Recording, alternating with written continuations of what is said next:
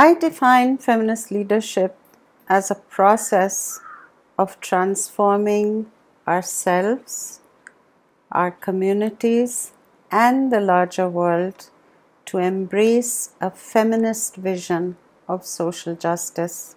It's the process of working to make the feminist vision of a non-violent, non-discriminatory world a reality. A world where there is equality and respect for the rights of all people, regardless of their gender identity, race, ability, class, caste, ethnicity, sexual orientation, religion, location. A world where human societies live in a non exploitative, respectful relationship with the Mother Earth. So, feminist leadership is about mobilizing others around this vision of change to embrace this vision and work together towards it. So, feminist leaders cannot be individualistic, it has to be collaborative, sharing power, and building collective leadership for this amazing change to happen. But here is the most critical challenge. You cannot transform the world without transforming yourself. So, feminist leadership cannot be practiced until we recognize that we are part of the problem because we carry within us so many learned behaviors and so much oppressive, exclusionary practices of power. Feminist leadership, therefore, has to begin with the self, with interrogating ourselves and transforming ourselves. Why is feminism important to leadership?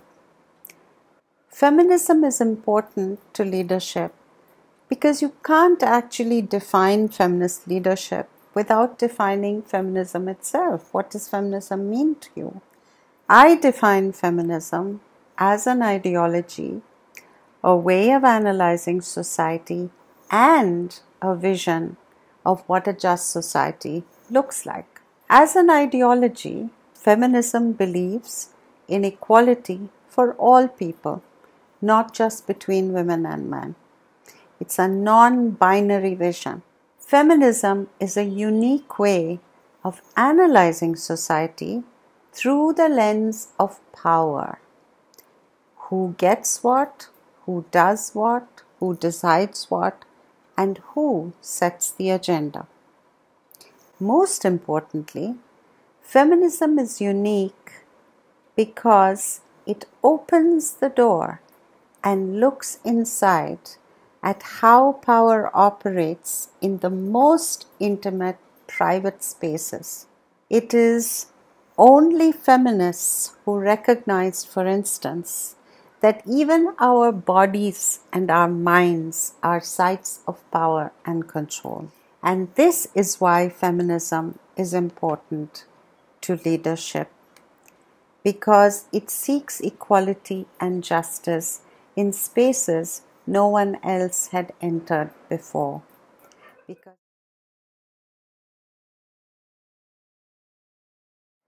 There are many wonderful examples of feminist leadership and practice, far too many to share in a short video. Uh, but let me share some that are slightly different. Uh, examples of how older feminists like myself uh, have tried to practice feminist leadership when we are in a different stage of our lives and a different stage uh, of the uh, feminist movement building process. 20 years ago, I made a very conscious decision to give up positions of formal leadership and authority to be the executive director of this or the CEO of that. And not because I had to, but because I chose to.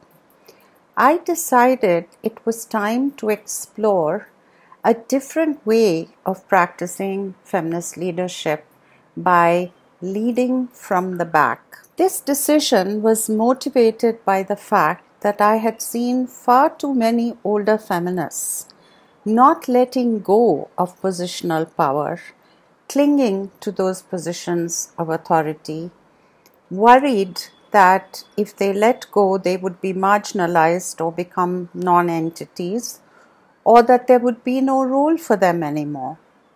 I also saw how, in many, many women's organizations all over the world, young feminists struggled to find space and voice and were denied uh, leadership opportunities because the older ones won't let go.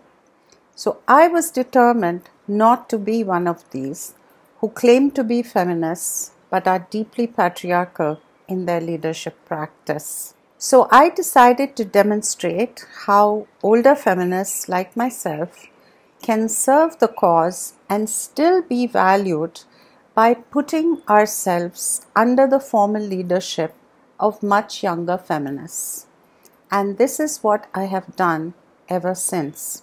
But I work to build the leadership of young feminist activists through my training and my writing so that they can emerge as feminist as real feminist leaders the irony is that this choice I made was extremely liberating. I didn't have to manage an organization or raise funds or spend a lot of time on administrative tasks. I earned a reasonable amount of money. The last 20 years have in fact allowed me to write and produce some really useful resources for feminist activists around the world, which I know I couldn't have done if I was busy being the boss.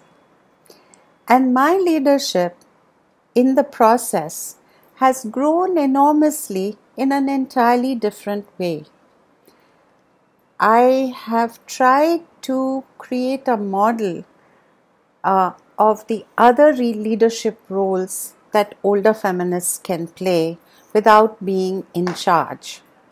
I practice what may be called thought leadership and leadership in the process of building new generations of leadership for the feminist movement, which is such an important task. But what are the big challenges to mainstreaming feminist leadership in our sector? I feel that there are two big challenges in this process.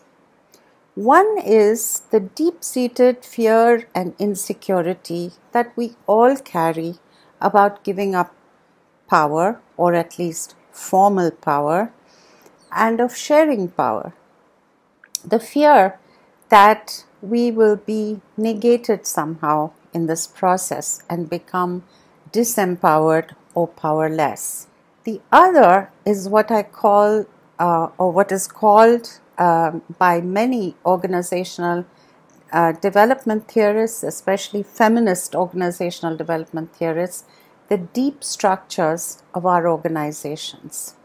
What are deep structures? These are the hidden sites where the larger power dynamics of the societies we live in gender biases, exclusionary beliefs and behaviors, stigma, privilege get reproduced inside the organization in these hidden ways, in these sort of submerged ways, even when the official policies of the organization claim to promote gender equality, non discrimination, equal opportunity, and so on and so forth. This is why, for instance, we see so many cases of sexual harassment and the tolerance of sexual harassment by those in leadership in development organizations which have very high sounding missions and values and so on. So, are there no positive results of all our efforts to promote feminist leadership? I think there are. I think the development sector now has realized that it's not enough to focus on gender equality and social justice in their external work and pretend that these are not equally important goals to address inside their own organizations, inside their organizational cultures. That is one very good result of the various scandals that have exploded and destroyed the image of several international NGOs in the recent past. In the process, there is a growing recognition that I see around the world that feminist leadership is not only something women's organizations need to do, but something everyone needs to think about and implement. Because feminist leadership is not about women, it's not about female bodies in leadership.